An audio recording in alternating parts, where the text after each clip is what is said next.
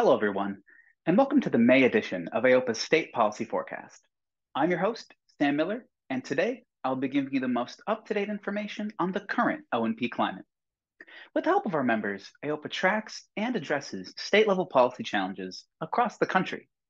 I'll be giving you the scoop on some of those efforts over the next few minutes. To start things off, let's head back to Texas, where cranial remolding orthosis legislation has seen some movement.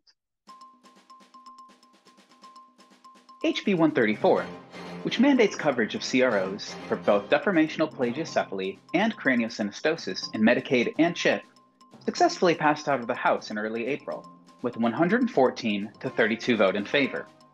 AOPA CRO work group and a coalition of providers in the state assisted in this effort by providing testimony and demonstrating support from Texas-based healthcare organizations, physicians, and O&P practitioners. The bill now moves to the Senate.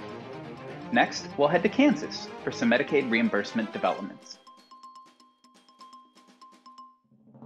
Earlier this month, Kansas's Division of Healthcare Finance announced that Kansas Medicaid will be increasing its DMEPOS reimbursement to 80% of Medicare.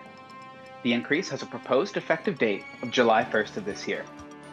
Now, let's travel to the Pacific Northwest for some great news out of Oregon.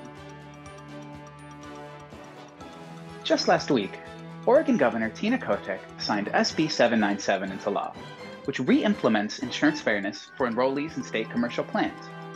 Governor Kotek's signature comes after unanimous votes in both the House and the Senate. You hear that, folks? That's the So Kids Can Move groove once again. We have some exciting news to share. Let's head on over to Illinois to kick things off. With the help of Jim Kaiser and the Illinois Society of Orthotists and Prosthetists, SB 2195, which mandates coverage of activity specific orthoses and prostheses in commercial health plans for enrollees of all ages, has passed the House and now awaits the signature of Governor J.B. Pritzker. Finally, we move to Colorado for some similarly positive news.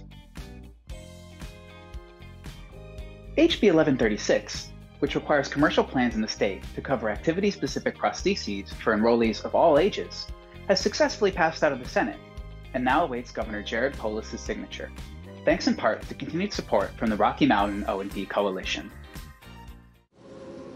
All right, folks, that just about wraps things up. Thank you so much for tuning into this month's state policy forecast. I've decided to make a quick pit stop in Indianapolis this weekend to watch the Indy 500 and cheer on McLaren, my favorite motorsports team.